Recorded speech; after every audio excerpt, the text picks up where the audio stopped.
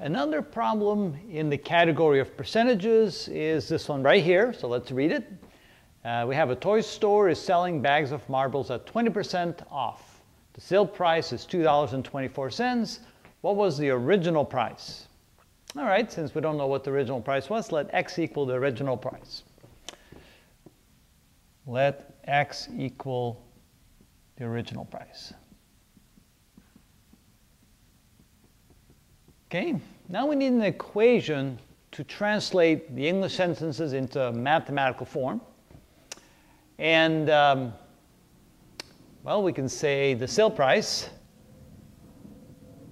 Oop, not the selling price, but the sale price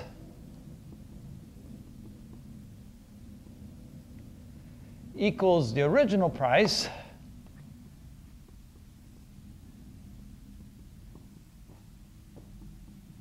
minus the discount. Okay, that seems to make sense. So the original price, we let that equal x. All right, so that equals x. The sale price, um, well, that's they tell us what that is. It's $2.24.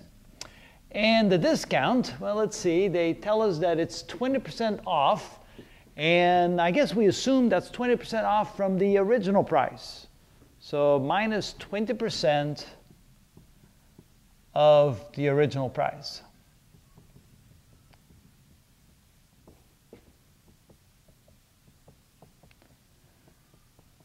Okay, and we define the original price by x, so that will be 20% of x. So $2.24 equals x minus 20% of, and of course, of in mathematics means multiplication. So that's 20% of the original price x.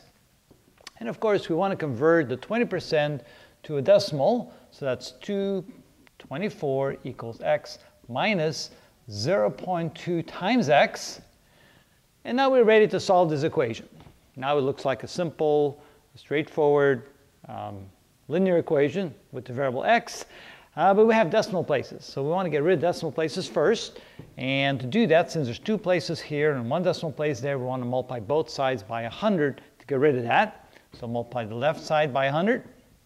Multiply the right side by 100. All right, 100 times this, that gives us 224. 100 times x, that's 100x, minus 0.2 times 100, that means when you multiply times 100, it's like moving the decimal place over two places. So that's 1, 2, that gives us 20 times x.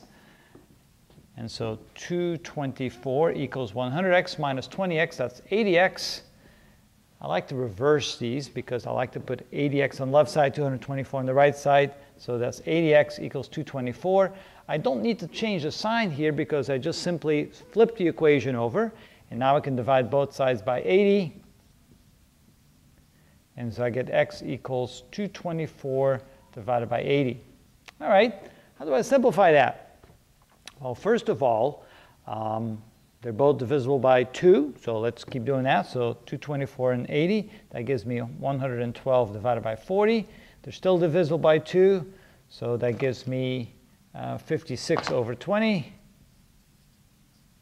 They're still divisible by 2, so it gives me 28 over 10. And now I can simply divide by 10, and so it would be 2.8. And if I convert that to dollars, remember x was the original price, and so we convert that to dollars. So that means the original price is equal to $2.80.